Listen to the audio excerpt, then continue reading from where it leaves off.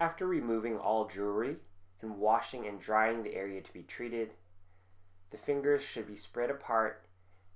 Dip in as far as possible into the wax and remove the hand from the wax. Advise the patient from moving, avoid touching sides of the bath, and wait for the paraffin to harden. Repeat 6 to 10 times.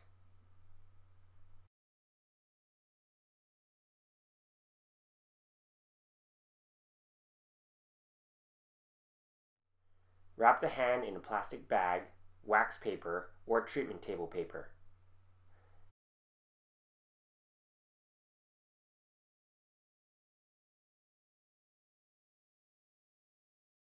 Then wrap the above in a towel.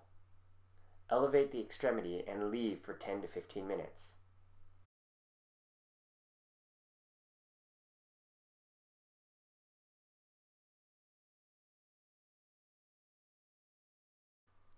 When the treatment period is over, peel off the paraffin and dispose.